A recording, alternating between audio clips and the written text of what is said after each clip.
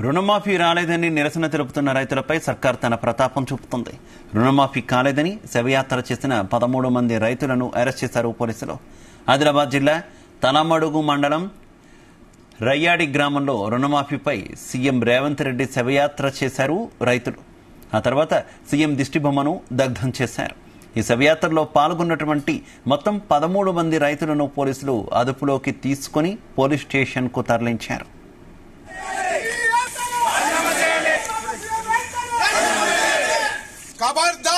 రేవంత్ రెడ్డి. ఇక నాలుగు గంటల పాటు స్టేషన్లోనే ఉంచారు. ఇలాంటి ఘటనలు మరోసారి రిపీట్ అయితే కఠిన చర్యలు తీసుకుంటామని హెచ్చరించారు పోలీసులు. దీంతో పోలీసుల తీరుపై మండిపడుతున్నారు రైతులు.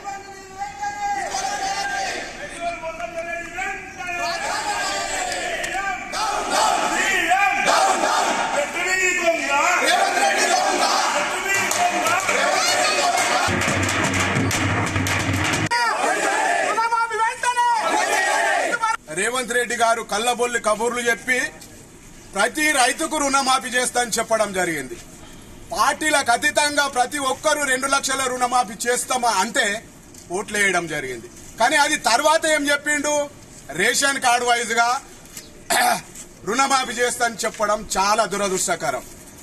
మరి ఇంకోటి ఏంటంటే ఫస్ట్ విడతలో ఆరు వేల మందికి సాంకేతిక లోపం వల్ల జీరో నుంచి లక్ష వరకు రుణమాఫీ జరగాలి.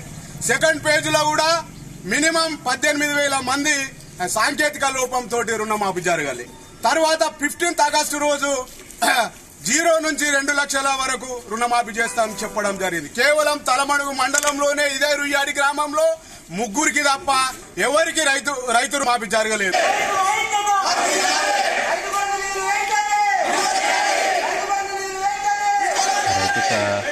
రైతుల అరెస్టుకు సంబంధించి మరింత సమాచారం మా కరెస్పాండెంట్ రాజు పటేల్ అందిస్తారు.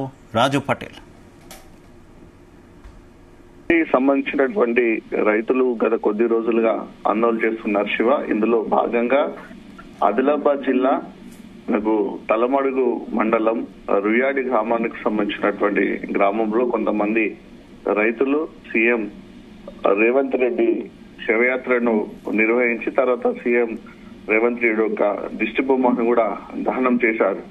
సో ఈ ఘటన నేపథ్యంలో పోలీసులు పదమూడు మందిని రైతులని అదుపులోకి తీసుకొని వాళ్ళ మీద కేసులు నమోదు చేసి మళ్ళీ స్టేషన్లకు కొద్దిసేపు ఉంచుకొని సొంత పూచికచ్చుతోటి కొన్ని షరతులు తోటి వాళ్ళని మళ్ళీ స్టేషన్ నుంచి రిలీజ్ చేయడం జరిగింది. అయితే ఇక్కడ రెండు విషయాలని ప్రధానంగా ఏంటంటే వాళ్ళు ఎవరైతే ఆందోళన కార్యక్రమం నుంచి సీఎం రేవంత్ రెడ్డి దిష్టిబొమ్మ దహనం చేశారో శివయాత్ర నిర్వహించారో వాళ్ళు నిజమైన రైతులు కాదు కాంగ్రెస్ పార్టీకి సంబంధించినటువంటి నాయకులు కార్యకర్తలు అని ఒకవైపు పోలీసులు అది టిఆర్ఎస్ పార్టీకి సంబంధించినటువంటి వ్యక్తులు కావాలని ఇలా చేశారనేటువంటి కాంగ్రెస్ పార్టీ నాయకులు ఆరోపిస్తున్నారు.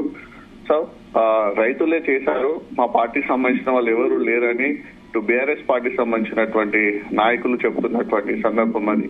సో మొత్తానికి అంటే అనుమతి లేకుండా ఆందోళన కార్యక్రమం నిర్వహించారు. ఆ సీఎం రేవంత్ రెడ్డి దిష్టిబొమ్మను దహనం చేశారనే ఉద్దేశంతో పదమూడు మంది రైతులపై తలమడుగు పోలీస్ స్టేషన్లో కేసు నమోదు చేశారు. వారిని నిన్న కేసు నమోదు చేసి కాసేపు స్టేషన్ ఉంచుకొని తిరిగి బయటికి రిలీజ్ చేశారు. అయితే ప్రభుత్వము కాంగ్రెస్ పార్టీ సీఎం రేవంత్ రెడ్డి చాలా స్పష్టంగా చెప్పారు. రైతులకు రెండు లక్షల రూపాయల రుణమాఫీ చేస్తామని చెప్పారు. కానీ చాలా మందికి రుణమాఫీ కాలేదు. ఇందులో చాలా ఇబ్బందులు ఉన్నాయి. మేము రుణం తీసుకున్నాము మాకే రుణమాఫీ కాలేదనేటువంటి పేపర్లను కూడా వాళ్ళు ప్రొడ్యూస్ చేశారు. సో మాకు రుణమాఫీ కాలేదు కాబట్టి మా రుణాన్ని మాఫీ చేయాల ఉద్దేశంతో మేము ఆందోళన కార్యక్రమం నిర్వహించాము.